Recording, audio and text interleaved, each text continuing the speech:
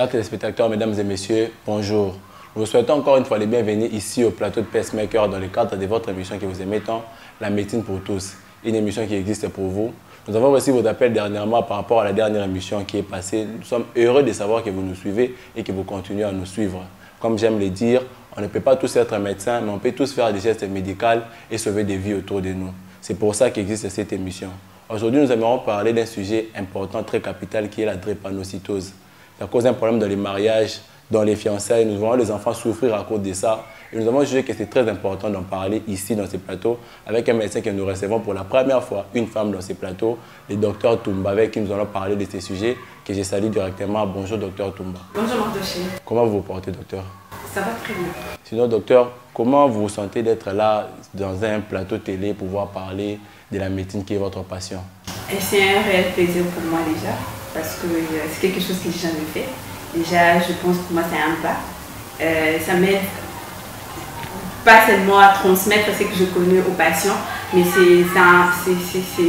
une occasion de parler de ce que je connais à la population. En tout cas, euh, c'est vraiment un réel plaisir pour moi. Parce que vous savez, cette émission, si elle existe, vraiment, c'est un peu pour essayer de faire voir à la population les notions sur la médecine préventive.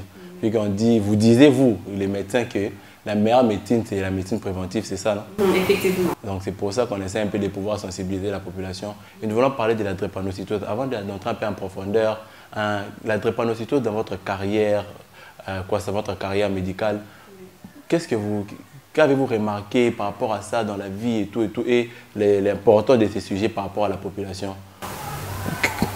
Alors, c'est déjà, comme tu l'as dit, euh, mieux vaut prévenir que guérir. Mhm. Déjà, pour euh, la, drépanocytose, il faut les savoir, c'est une maladie qui est héréditaire. Donc, c'est une maladie qui touche tout le monde aujourd'hui. Et euh, on n'en parle presque pas, en fait. C'est à peine que je vois que tout le monde s'est réveillé pour en parler. Mais ça, ça c'est limite ici à Kinshasa. Ailleurs, à l'intérieur du pays, c'est un sujet qui reste aujourd'hui tabou et méconnu par la population. Alors, pour mieux guérir cette maladie, il faut prévenir, parler parler, sensibiliser. Il faut sensibiliser à la population, le faire connaître. Donc, ils doivent avoir plus d'informations sur la maladie que ce qu'ils connaissent, ce qu'ils paraissent, euh, ce qu'ils paraissent connaître. Parce qu'aujourd'hui, c'est un sujet qui, est, euh, qui devient un fardeau. C'est un fléau aujourd'hui. Ça ne touche pas seulement l'Afrique, mais ça touche aujourd'hui le monde. Donc, c'est important qu'on en parle. Ok, d'accord. Parce que vu qu'à travers cette émission, on sera suivi jusqu'à l'intérieur du pays, on espère sensibiliser un gros max de gens. Mais s'il faudrait entrer dans le vif du sujet sur la drépanocytose, commencez d'abord à définir la, drépanocytose? Parce que déjà, par rapport au mot la drépanocytose, ça semble un peu méconnu. On dirait que c'est un mot purement médical. La drépanocytose, en termes simples, et, et c'est un peu de définir ça pour les ignorants que nous sommes, bien sûr. Ok, déjà, c'est une maladie qui est connue sous, euh, sous les noms d'une. C'est une maladie SS, donc anémie SS. C'est dans la population. Euh, la drépanocytose, en soi, par définition, c'est une. Euh, maladie. Déjà, je l'ai dit, c'est une maladie héréditaire. Donc, c'est transmis de parents à leurs enfants. Et c'est dû à une anomalie de l'hémoglobine. L'hémoglobine qui est la, euh, de l'hémoglobine rouge. C'est le fait que ça a, un rôle important dans, euh, les transports de l'oxygène. Ok, maintenant, docteur, s'il faudrait voir un peu par rapport à l'historique, hein, par rapport à l'historique, ça vient d'où? Comment est-ce qu'on est arrivé à découvrir l'entrepreneuriat? Nos ancêtres ils vivaient comment? Et qui ne savaient même pas tout ça Malheureusement, bon, euh, malheureusement, heureusement pour nous, c'est une maladie qui a été découverte, c'était aux États-Unis. Ah. C'est euh, un certain Eric James qui avait remarqué, c'était en fait un étudiant d'origine jamaïcaine qui, qui, revenait tout le temps avec une anémie, qui une anémie très sévère. Et c'était en répétition. C'est après plusieurs investigations qu'ils ont eu euh, à donner un nom sur, sur la maladie. Et c'était en 1904. Ok. Docteur, vous avez dit que c'est l'anémie SS, la drépanocytose. Donc, l'anémie SS, c'est ça le groupe sanguin Non.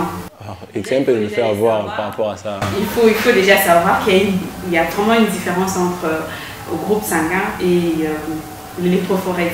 L'électrophorèse. Voilà. Euh, le groupe sanguin, c'est avoir fait toutes les deux maladies atteignent l'hémoglobine, et le globule rouge. Mais dans les cas de l'électrophorèse, en fait, on voit l'hémoglobine qui est constituée. Donc, c'est à l'intérieur du globule rouge.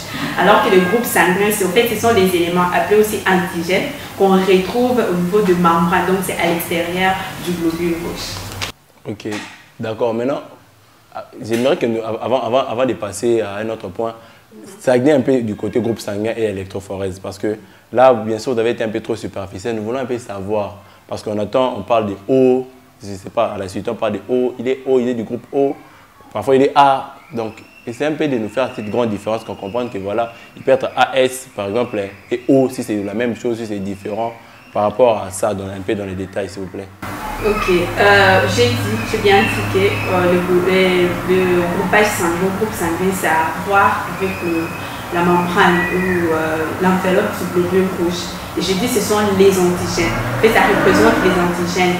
quand on parle du groupe A, donc ça veut dire que cette personne, au niveau de, le, du globule rouge, au niveau de son enveloppe externe, on trouve une, un antigène appelé antigène A. Ce sont deux noms qui sont conventionnels. Ils sont réunis, ils ont dit non, on va donner. Ça, antigène A. Oui, antigène A. Et il y a deux gens aussi qui ont des antigènes B, c'est pour cela ils ont un groupe sanguin appelé groupe sanguin B. Et etc. Enfin, c'est la même chose pour le groupe euh, O aussi. Voilà un peu.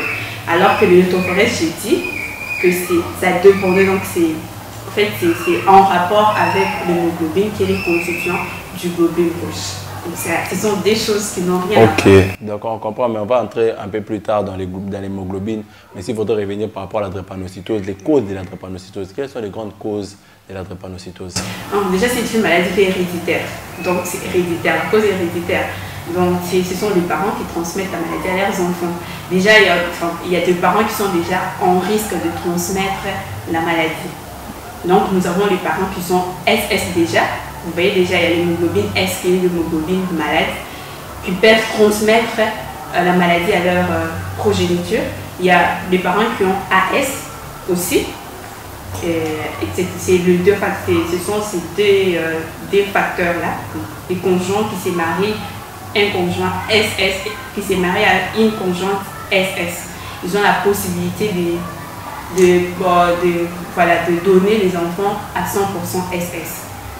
Et ceux qui sont AS, AS qui se marient, ils ont 25% de donner les enfants SS, 25% d'en donner AA, et puis 50% d'en donner AS. Et aussi, il y a des couples qui se marient, le couple SS, c'est un couple qui il y a l'un qui est S et l'autre qui est AS. Dans ces cas-là, ils ont 50% de données, enfin 25% de données des enfants AS et le reste d'enfants sont SS. Ok. Voilà, ce sont juste des facteurs. Voilà, et maintenant, s'il faudrait entrer en plein pied chez un enfant drépanocytaire qui a bénéficié de cette maladie chez ses parents, quels sont les symptômes qu'on peut remarquer à l'ANI Parce que parfois on parle de la sorcellerie, moi on a qui Donc, quels sont les symptômes qu'on peut remarquer chez un enfant drépanocytaire ou une personne drépanocytaire, bien sûr Déjà, euh, il faut savoir que ces manifestations sont liées à l'âge. À un certain à un certain âge, l'enfant ne présente aucun symptôme. Donc euh, déjà à la naissance, si ce n'est pas un enfant qu'on a déjà fait l'électrophorèse de l'hémoglobine, il n'aura aucun symptôme. Donc c'est juste à partir de 6 mois que ces enfants vont commencer à, à manifester. Déjà, par rapport à là, pourquoi avant 6 mois l'enfant ne peut pas manifester les symptômes d'un drépanocytaire Oui, parce que quand on est, quand nous sommes nés, nous naissons avec l'hémoglobine qu'on appelle hémoglobine F, donc l'hémoglobine fœtale, qui sera à la longue remplacée, donc six mois après, progressivement remplacée, soit par l'hémoglobine AA pour les gens qui ne sont pas malades, ou soit par l'hémoglobine S pour euh, ceux qui sont malades. Ce qui fait que c'est après six mois que ces enfants-là vont commencer à manifester euh, les symptômes liés à la maladie. On va, on va revenir avec les symptômes. Je pense que vous maintenez un peu trop sur l'hémoglobine. L'hémoglobine en quoi? En soi, c'est quoi? L'hémoglobine, c'est un constituant du, euh, du globule rouge. Le globule rouge, c'est une cellule du sang. C'est ce qui vert, bon, on dit vulgairement, c'est ce qui donne la couleur, euh, c'est la couleur rouge euh, au sang. C'est un constituant, donc ça fait partie de l'hémoglobine. Et ça a un rapport, fait, ça a un rôle important dans le transport de l'oxygène, ce qui nous permet de euh, faire véhiculer l'oxygène dans l'organisme. Ok.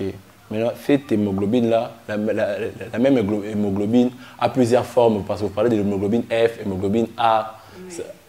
Comment on, vient à avoir plusieurs formes d'hémoglobine comme ça? Euh, Déjà, c'est une maladie qui est héréditaire, donc c'est génétique. Il y a des mutations qui se font dès la naissance pour les gens qui sont malades. Les gens qui ne sont pas malades, ils sont à être bien. Mais ceux qui sont malades, il y a une mutation qui s'est faite. Il y a l'acide normalement qui ne devait pas être là. Donc l'acide vanille qui ne devait normalement pas être là. pas être dans l'hémoglobine Oui, qui, qui va remplacer l'autre euh, acide. Ce qui mhm. fait qu'il y a une mutation qui s'est créée. Et ces enfants, à la longue, ils auront un résultat, c'est un hémoglobine qui, qui, devait être normal, mais qui devient C'est une mutation qui s'est faite. Ce qui fait que nous avons euh, euh, des enfants qui, sont, qui ont ces, ces S pris la naissance. Mais c'est en fait un système qui s'est fait voir juste un moment facile. Euh, juste après, donc il y, y, a un moment qui se passe avant que l'hémoglobine puisse se manifester. Donc quand on est qu'on soit malade, qu'on ne soit pas malade, on a en fait notre hémoglobine normale qu'on est avec l'hémoglobine de l'enfance, l'hémoglobine S. Avant 6 mois.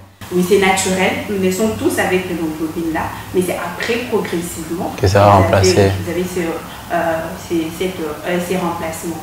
Donc, maintenant, revenons mais là, notre bébé, il a maintenant 6 mois. Quels sont les symptômes qu'il pourra manifester? Oui, euh, c'est un enfant qui va te présenter un syndrome qu'on appelle syndrome head, head foot syndrome. Donc, c'est qui c'est ça manque donc il y a le gonflement de, de, de pied. C'est un enfant qui aura des gonflements de pieds ou si ce n'est pas les pieds, c'est juste les orteils qui sont gonflés, ou soit ce sont les, le, doigt juste qui sont gonflés. Déjà, c'est ça le premier, en fait, c'est parmi la première manifestation de, du, euh, de la drépanocytose chez un enfant de moins de 6 mois. Et de, 6 mois plus tôt, c'est à la langue déjà qu'on commence, il y a d'autres manifestations que c'est présent. Et la les trois manifestations les plus principales déjà, c'est euh, nous avons les anémies qui sont en répétition. C'est un enfant qui va commencer à faire tout le temps les anémies. Et si ce n'est pas les anémies, c'est en fait, une anémie que vous, n'avez pas objectivée. C'est une anémie qui sera comme en fait, c'est un antécédent. Les parents te diront que cet enfant a beaucoup de transfusions. Déjà, c'est un élément qui nous oriente vers la drépanocytose. À part ça, nous avons aussi le, le crise douloureuse. C'est un enfant qui va te dire, la maman va dire, pour un enfant qui a moins de 6 mois, un enfant qui ne sait pas encore se prononcer, il va te dire que c'est un enfant qui pleure tout le temps. Il pleure tout le temps, il se tord de douleur, ou soit si ce n'est pas ça, il refuse de téter. C'est parmi fait, sa manifestation, une façon à lui de manifester sa douleur. Et ce sont des signes qui sont plus fréquents. À part ça, nous avons euh, les infections. C'est un enfant qui va commencer à faire exposer aux infections. Des infections en répétition, vraiment, vraiment régulièrement. Donc c'est toi, c'est ça là, les trois notions qu'un enfant drépanocytaire euh, fait, euh, fait, On va revenir dans les causes plus tard. Mais comme vous avez dit que les symptômes dépendent de, l'âge, plus l'enfant évolue, il n'y aura pas d'autres symptômes qui vont s'ajouter ou ce sont des symptômes qui vont l'accompagner durant sa vie ou sa croissance Évidemment, il y a des symptômes qui vont, en fait, qui vont disparaître, comme les head foot syndrome. C'est vraiment à cet âge-là, euh, quand un enfant a 6 mois, que ça peut se manifester. Mais après, il y a des signes, des manifestations qui commencent à se manifester progressivement. Il y a, parmi ces manifestations, il y a des manifestations qui sont liées aux complications de la maladie déjà. Donc c'est un enfant qui, peut même te faire une AVC. Pour un enfant un enfant ok. qui faire une AVC, c'est un enfant qui aura, euh, qui, aura tout le temps tendance à être hein, régulièrement. Exposé à des fractures, oui. Voilà. Donc, ce sont ces manifestations-là qui se présentent un peu régulièrement. Euh, plus on évolue, plus les manifestations s'évoluent. Il y a d'autres manifestations qui s'enlèvent et d'autres qui s'ajoutent. Qui, qui Mais là, s'il faut voir les causes de ces symptômes, ça provient d'où ces symptômes-là? Juste par rapport à cette hémoglobine qui a été changée ou comment? Oui, c'est par rapport à cette hémoglobine. En fait, l'hémoglobine, il est déjà, c'est une hémoglobine qui est malade déjà. Euh, devant quelques situations, plus euh, généralement devant une euh, diminution de la pression en oxygène. Donc, toute, toute cause ou toute situation qui expose à, une diminution de la pression, de la pression en oxygène, l'hémoglobine change de forme. Il change de forme, il, on dit qu'il il, falciforme. Donc, il avait une forme quelconque, mais devant ces situations, il change de forme, il, devient, il, prend, enfin, il prend une autre forme. Uh-huh. Voilà un peu. Et puis, euh, déjà, cette falsiformation, c'est ce qui est plus à la base de toutes ces manifestations-là de, de, la drépanocytose. Ok. Maintenant, nous allons revenir un peu chez les parents, docteur. drépanocytose et mariage. Drépanocytose et mariage. Chez les parents, qu'est-ce qu'on peut dire aux parents, plutôt aux jeunes personnes, aux jeunes gens qui ont laissé marier, aux nouveaux mariés même, qu'est-ce qu'on peut les conseiller ou qu'est-ce qu'on peut, quels sont les angles de choses qu'on peut voir par rapport à et, et, cette maladie qui est la drépanocytose Vous partez loin quand vous dites les nouveaux mariés. c'est une maladie qui est transmissible, donc c'est une maladie qu'on doit déjà détecter dès bas. Donc, je suis née, on me fait l'électrophorèse, je me connais déjà. Je sais que je suis AS, donc dans ma tête, je marche, je me dis, moi déjà, quelqu'un qui doit me marier, ça doit être quelqu'un de AA. Parce que docteur, quand nous revenons dans les mariages, je suis là, on estime que je ne connais pas mon... On appelle ça l'électrophorèse. Voilà, je ne, voilà, je ne connais pas ça. Et puis, je vis dans un endroit où je n'ai pas, pas la possibilité de, de faire cet examen. J'ai ma petite amie, ma fiancée, elle aussi, elle ne connaît pas. On n'a pas assez de possibilités. On est en train de réfléchir à comment se marier, avoir l'argent pour la dot. Et on pense encore à l'argent à les dépenser pour faire ces, examens. On s'est dit qu'on ne veut pas faire ça. Et du coup, on est marié. On vous retrouve, vous, docteur, vous nous trouvez qu'on est déjà marié. Et voilà, vous, vous faites des examens et vous voyez qu'on ne peut pas. Nos, nos enfants seront exposés. Qu'est-ce que vous pouvez nous conseiller, nous? Moi, je conseillerais au couple de prendre la décision. Euh, vous devez prendre la décision soit de vous séparer, soit aujourd'hui, le monde a évolué. Déjà, pendant la grossesse, on peut déjà diagnostiquer, dire que cet enfant sera né drépanocytaire. Bon Oui, déjà. Donc, c'est à partir de ces cellules. Je peux déjà le faire par euh, euh, ce qu'on appelle la myosynthèse. Déjà, la myosynthèse, c'est juste vous prenez les cellules qui sont, je peux dire, qui sont en fait, qui entourent l'enfant donc c'est une, femme qui est enceinte, vous entrez, vous prélevez les cellules dans, euh, dans l'utérus, donc là où l'enfant se retrouve, vous prélevez les cellules, vous faites des tests, vous allez trouver l'ADN, vous allez, euh, euh, vous, pouvez aussi poser des diagnostics. Et on fait quoi? Si l'enfant On tue pas l'enfant. on prend, il y a un instrument déjà. Ok. Là, on, enfin, déjà c'est c'est une, une, procédure qui est déjà compliquée parce que déjà ça expose l'enfant à beaucoup de complications déjà. Vous pouvez faire euh, une fausse couche vous pouvez perdre le bébé carrément. Enfin, il y a déjà des précautions qu'on prenne, vous prélevez les, ces cellules-là et vous détectez. Là, la décision revient au couple. C'est à eux de prendre la décision soit de continuer la grossesse et assumer les conséquences. Arrêtez là. Oh là, c'est. Docteur, la drépanocytose et l'expérience de vie. Parce que quand vous parlez des continuer la grossesse, soit arrêter la grossesse, on dirait qu'il n'y a pas de l'espoir pour les bébés qui vont naître. Si, il y a de l'espoir, mais c'est, euh, je peux dire que c'est minime, très minime. Déjà parce que euh, c'est un enfant qui va vous poser beaucoup de problèmes. Beaucoup de problèmes, c'est un enfant. Aujourd'hui, on dit les budgets pour prendre un enfant de bonne c'est savoir euh, 1000 dollars par mois. Hum.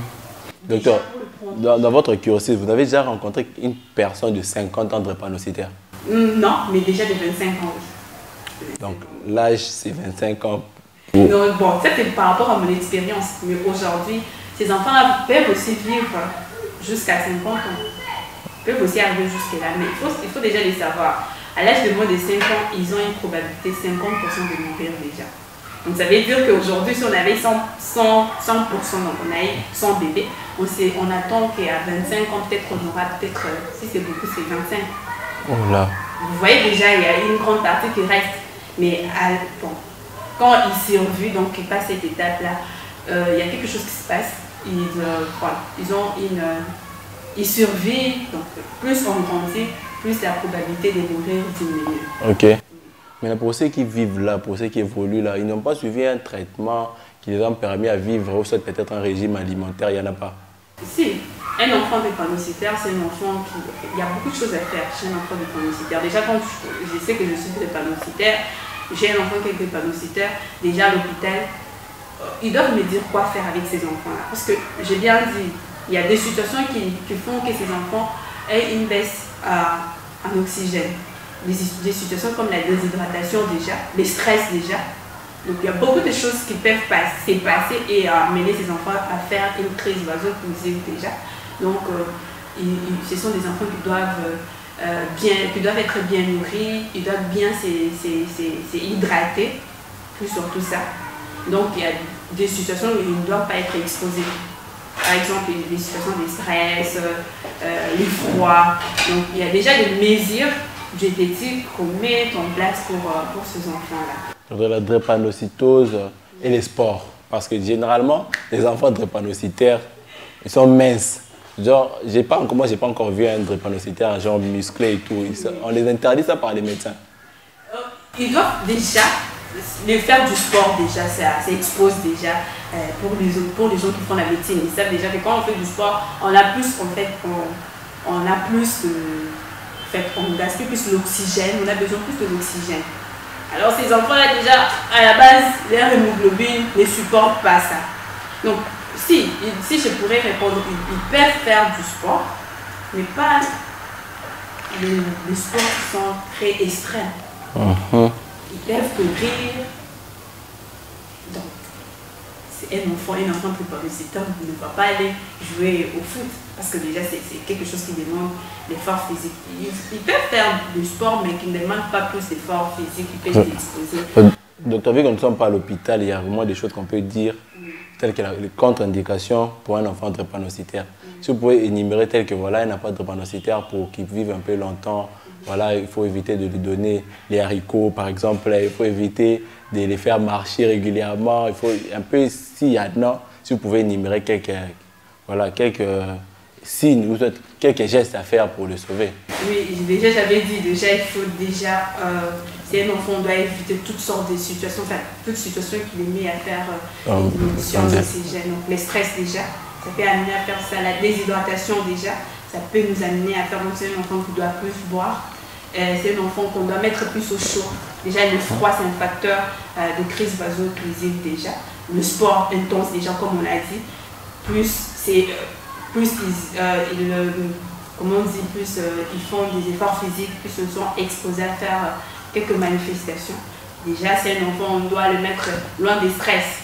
Donc, je prends déjà l'exemple, moi, quand je faisais la médecine, euh, pendant le cursus, quand on faisait du stage, on a il y avait une de camarades qui était SS, mais euh, souvent pour les étudiants de médecine, en tout cas ceux qui ont fait des stages, on sait que les stages c'est un moment de stress, vraiment stress, c'est un moment de stress, et on évitait de trop poser des questions, trop la poser des questions, la pousser ou la stresser. C'est parmi les, les histoires qu'on ne peut pas faire avec ces enfants. Nous allons revenir dans le domaine médical, la drépanocytose, interaction entre la drépanocytose et d'autres maladies. La drépanocytose et les VIH-Sida. Un enfant drépanocytaire qui a encore le VIH-Sida. Son expérience de vie, vous en dites quoi? Parce qu'aujourd'hui, avec les traitements, avec les, études qui évoluent, on, voit que les sidatiques évoluent un peu. Soit il, a, il a attrapé le VIH-Sida à 20 ans, mais voilà, il a atteint 50 ans. Et maintenant, pour un enfant drépanocytaire avec le VIH-Sida, vous en dites quoi? C'est déjà des c'est déjà très lourd déjà pour l'enfant. Déjà la drépanocytose, c'est extrême déjà.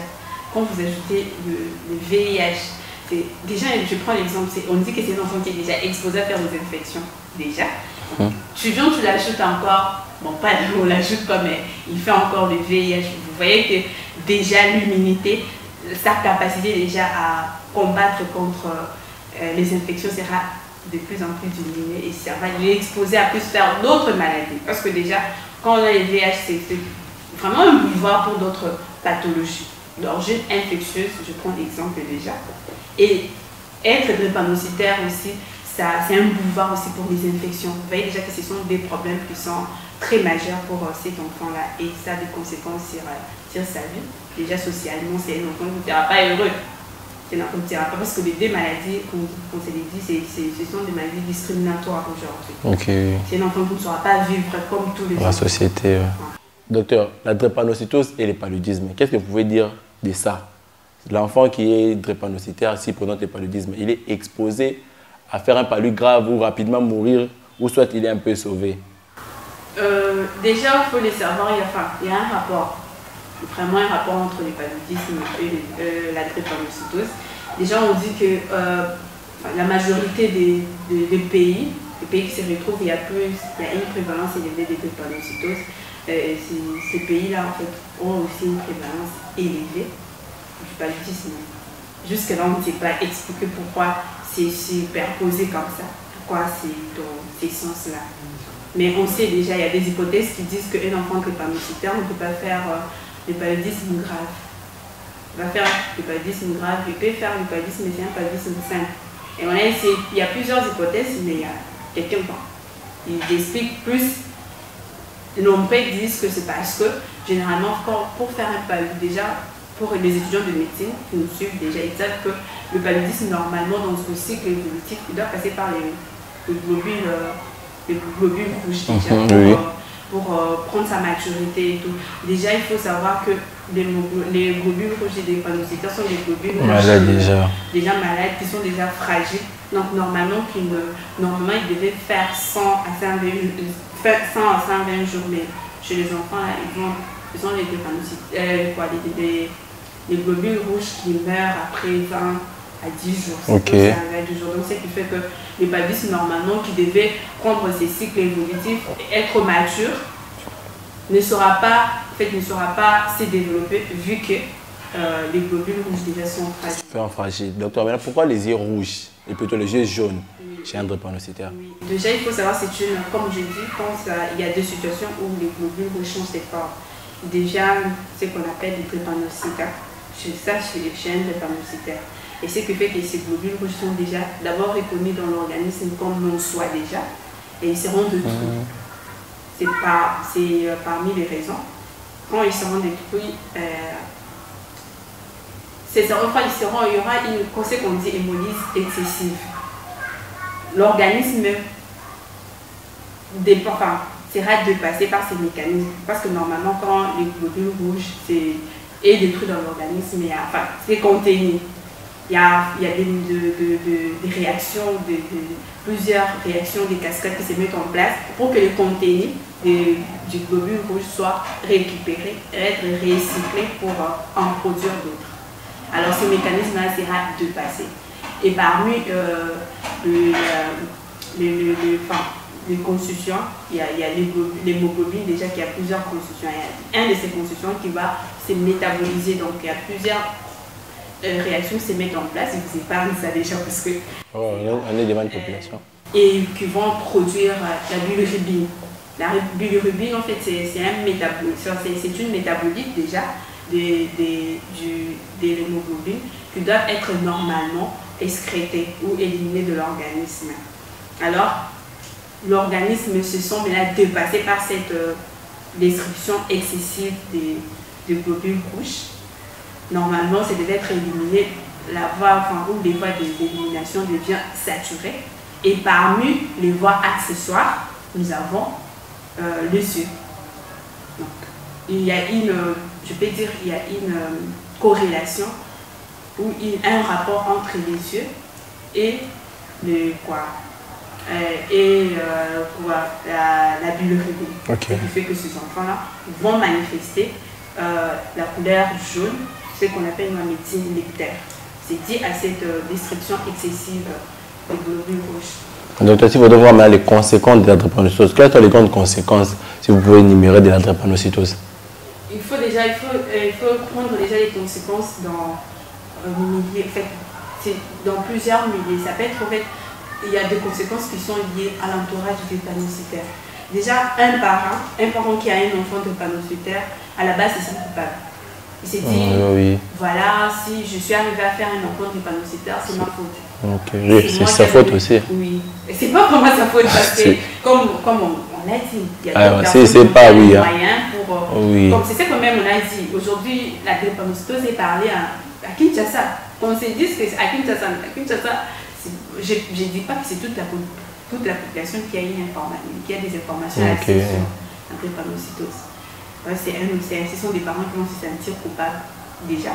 Et après, c'est une maladie, c'est un fardeau. C'est un enfant qui doit, être, qui doit être bien suivi et ça demande beaucoup d'argent. C'est quelque chose qui pèse aujourd'hui sur les parents déjà. Mmh. L'enfant drépanocytaire lui-même, euh, c'est un fardeau. C'est un enfant qui va se sentir... Euh, Toujours discriminé. Discriminé, parce qu'il y a des choses qu'il ne peut pas faire, comme des mhm. sports, il y a d'autres choses où, normalement, à un âge quand on les fait, lui, il ne peut pas faire ça. C'est un enfant qui va se sentir un peu marginalisé. Ok. À part. Non, d'accord. Et revenons à nos amis étudiants en médecine qui nous suivent, les diagnostics différentiels pour un drépanocytaire. Quand on est à l'hôpital, un patient arrive, il est drépanocytaire. Que faire pour savoir qu'il est drépanocytaire Alors, il y a des tests qui sont des tests d'orientation et des tests de confirmation. Les tests d'orientation, en fait, c'est une réaction qui se fait entre antigènes et anticorps. En fait, ce sont des tests qu'on appelle, il y a un de ces tests qu'on fait fréquemment, c'est les tests de MED. Et à part ça, il y a, en fait, il y a des tests de confirmation. On peut faire euh, déjà l'électrophorèse et l'hémoglobine.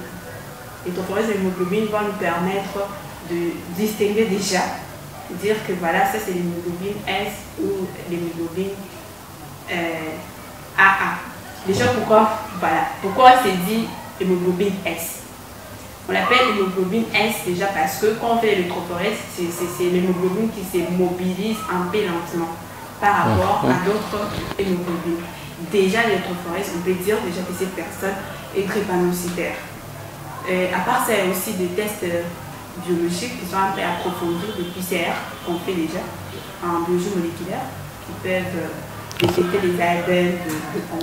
ça va nous conduire vers les diagnostics différentiels. Les diagnostics différentiels des, drépanocytaires Oui, il y a plusieurs diagnostics différentiels. Il y a des maladies comme thalassémie, qui est aussi une maladie qui est due à l'hémoglobine, qui peut aussi être un diagnostic différentiel. À part ça aussi, il y a quelqu'un qui peut faire, euh, euh, bon, je parle des cliniques aussi, différentiels, bon, les diagnostics différentiels en rapport avec les cliniques. Quelqu'un qui te fait euh, le paludisme, un enfant qui fait le paludisme peut avoir euh, quelques manifestations déjà de la drépanocytose, de la drépanocytose, c'est aussi un diagnostic différentiel. À part ça, il y a des maladies euh, comme les hépatites. Parce que des gens ont dit que c'est un enfant qui est ictérique, donc il y a les, yeux jaunes. Tout ce qui est maladie qui, enfin, qui entraîne une jaunisse ou un ictère, ce sont des diagnostics différentiels. Je parle des hépatites, par exemple. Ok, donc si vous voudrez aller maintenant dans les temps, par rapport au traitement, dans le temps, l'évolution du traitement, depuis qu'elle a été découverte jusqu'à maintenant, il y a de l'évolution où on est toujours, on stagne toujours dans, dans les mêmes points. Oui, je pense, si j'ai une bonne mémoire, je pense que c'est en, 1978. La maladie a été, en fait, on a commencé à investiguer sur la maladie en, en 1904 déjà mais l'évolution, au fur et à mesure que ça a avancé, il y a des évolutions, il y a, il y a de, fait, il y a, il y a, je peux dire, il y a une évolution dans, la prise en charge déjà. Euh, c'est une, je pense que c'est un résultat qui a été aléatoire, on ne s'attendait pas. Une, on faisait une greffe, là, moi, le sais, une enfant qui faisait la leucémie. Donc, euh, leucémie, c'est un type de cancer. On a fait, on fait une greffe à cet enfant, et on voit que, voilà, les manifestations qu'il présentait en rapport avec la drépanocytose a monté. Donc on a compris que la moelle, la greffe de la moelle osseuse était parmi euh, les traitements qu'on pourrait restaurer à un enfant drépanocytaire. Bien sûr, ce n'est pas un traitement curatif, non. Jusqu'aujourd'hui, nous n'avons pas encore un des traitements curatifs, mais c'est un traitement à longue durée, à qui peut vraiment prendre du temps. Je sais ne pas, on ne saura pas déterminer combien de temps, mais ça, ça, ça va, en fait, l'enfant fera plusieurs, plusieurs années, plusieurs temps. Sans pour autant présenter les symptômes. les symptômes de la maladie.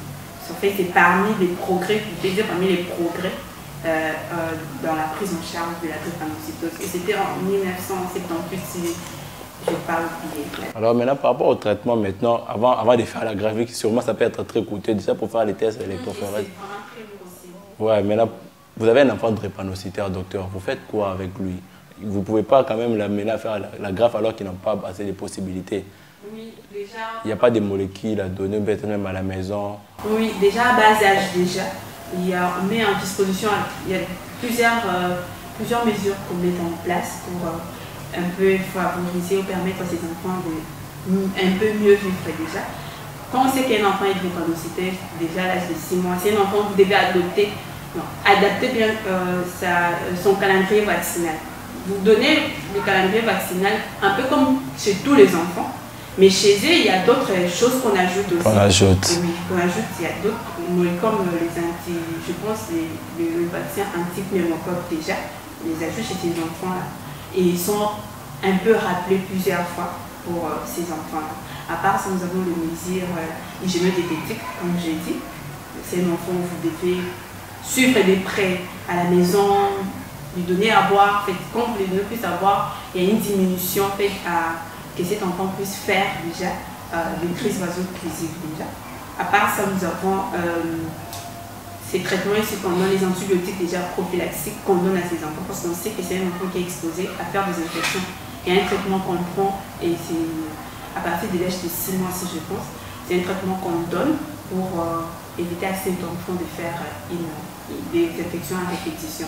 À part ça, nous avons le molécule qu'on appelle l'hydroxyurée. Il faut comprendre, je vous avais dit, à avant l'âge de 6 mois déjà, les enfants ne présentent pas les, manifestations liées à, la drépanocytose. Pourquoi ils n'en présentent pas? Parce qu'on a dit qu'ils ont une production, ils ont dans la circulation l'hémoglobine fétale.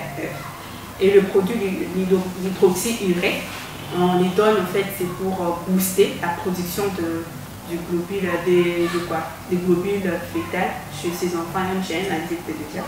Quand vous donnez ces, ces produits-là, vous boostez, vous, vous vous, favorisez euh, la production de, de cette hémoglobine-là et vous, y a, ça prévient plusieurs complications. Le thoracique déjà qui est une complication très majeure pour euh, un drépanocytaire. Ok. Mais docteur, quels sont donc les conseils que vous pouvez donner, les conseils à donner à la, pas d'abord à la population générale, mais aux jeunes gens qui se mettent voilà, en couple de façon aléatoire, si je peux le dire, de façon aléatoire, sans pour autant savoir un peu l'électrophorèse de, son partenaire. Quels sont les conseils que vous pouvez donner à ces jeunes gens? Au début, déjà, c'est bizarre que tu te mettes en couple avec quelqu'un, tu lui demandes déjà, bon, disons qu'on n'a pas cette culture-là, demander à quelqu'un déjà, c'est pas votre C'est pas peut-être qu'on peut commencer à le faire. Oui, c'est normal, normalement, effectivement.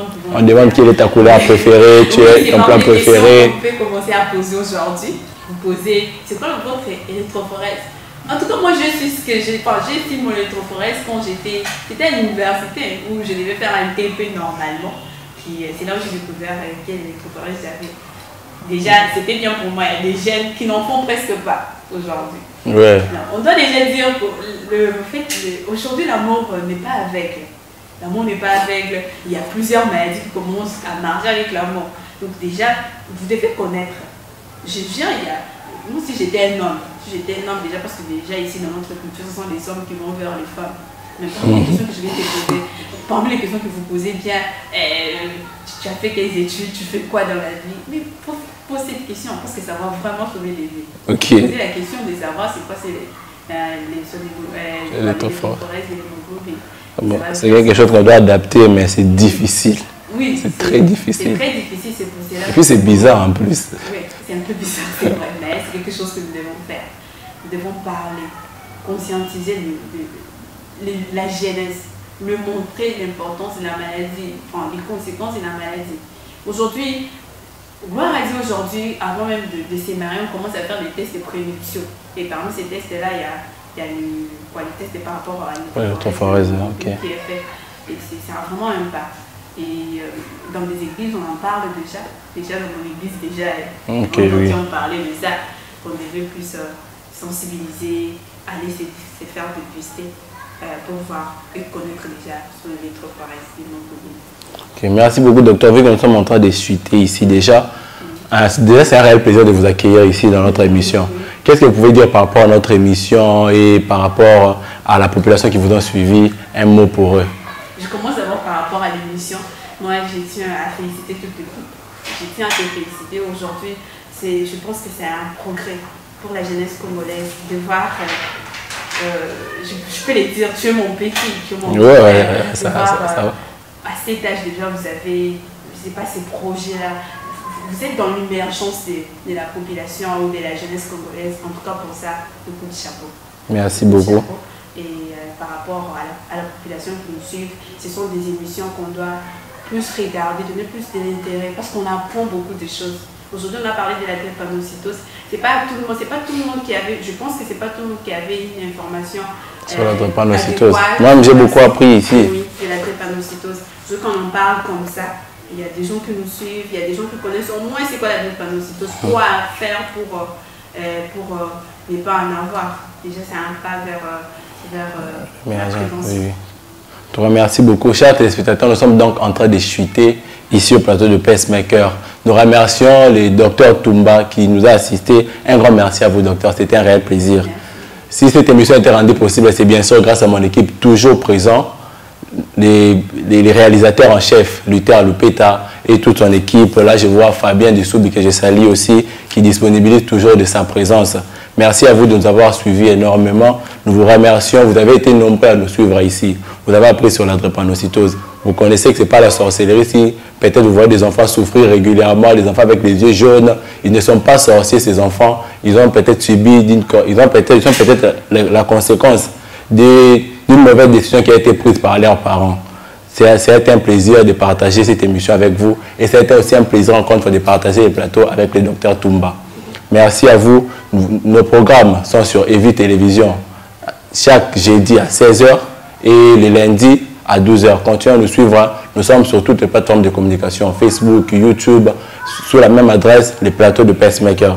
Nous allons nous retrouver prochainement avec une nouvelle émission, un nouveau invité et un nouveau sujet. Merci à vous. Je vous dis donc au revoir.